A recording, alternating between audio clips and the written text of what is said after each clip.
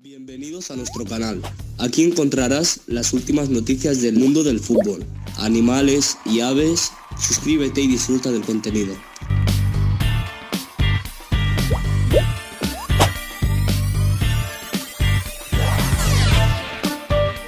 Una lesión inesperada desordena los planes de Ancelotti. El delantero brasileño Endrick, quien milita en el Real Madrid, ha sufrido una lesión inesperada que pone en duda su participación en el partido de hoy martes contra el Deportivo Alavés, en el marco de la séptima jornada de la Liga. El técnico italiano, Carlo Ancelotti, había insinuado durante la rueda de prensa previa al encuentro que Endrick sería titular en el partido contra el Alavés. Esta decisión parecía clara, ya que Ancelotti buscaba darle descanso a Kylian Mbappé, con la idea de que el joven delantero brasileño pudiera tener su primera titularidad en la temporada. Sin embargo, según informó Radio Marca, Endrick recibió un fuerte golpe durante el entrenamiento de ayer, lo que ha generado dudas sobre su disponibilidad para el partido.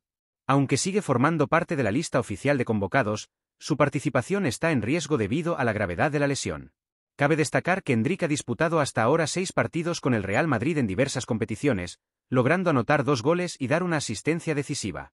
La lesión supone un revés importante, tanto para el jugador como para Ancelotti, que contaba con su presencia para dar descanso a otros jugadores clave del equipo. El Real Madrid, por su parte, tendrá que reorganizar sus planes de cara a este importante encuentro, mientras los aficionados esperan ansiosamente la confirmación sobre la disponibilidad de Endrick.